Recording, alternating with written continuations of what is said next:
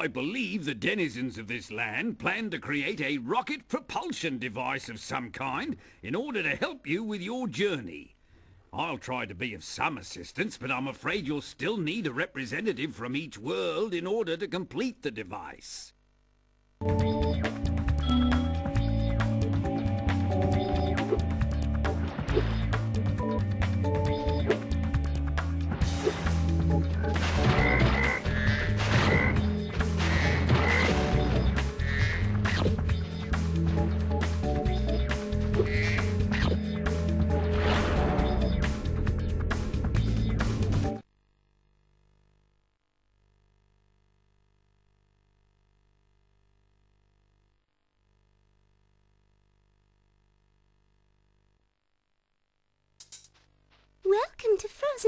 Spyro. On behalf of the Ice Fairies, I want to grant you a special power for as long as you stay in our world.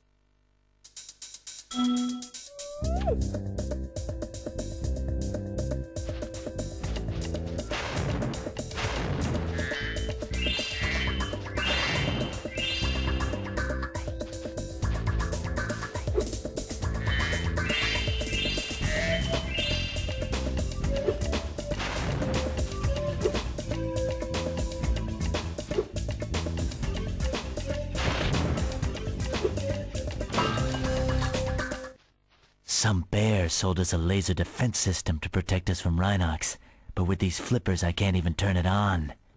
You'd have no trouble using it though. Just walk inside. When you're done, press the triangle button and you'll walk back out.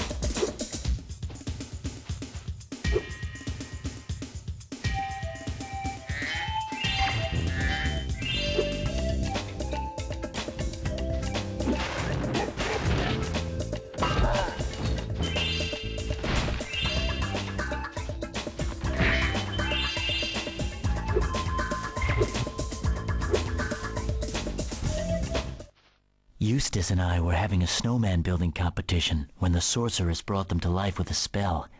Since then, they've been stomping around, building ice walls, and generally causing trouble.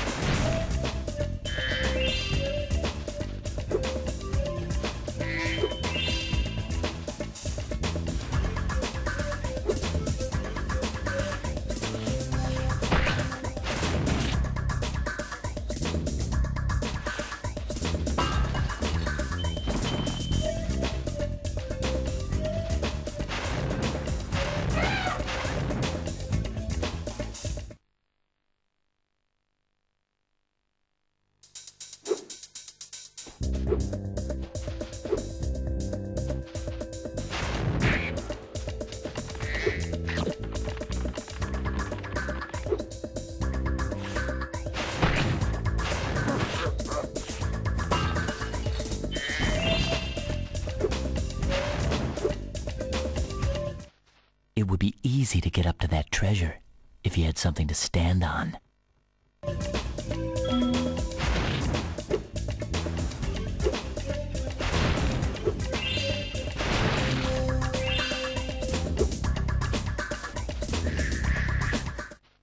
Purr. I don't know why, but I feel really cold.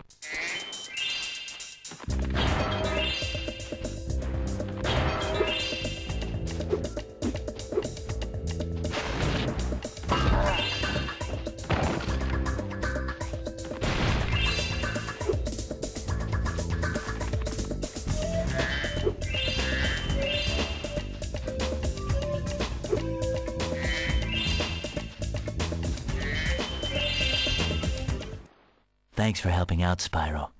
Why don't you take this? The Rhynocs were trying to fry it with a laser, but you stopped them just in time.